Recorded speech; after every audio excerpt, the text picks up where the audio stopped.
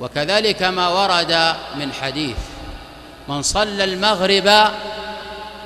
في أول ليلة من رجب ثم صلى عشر ركعات فله كذا وكذا أيضا لا يصح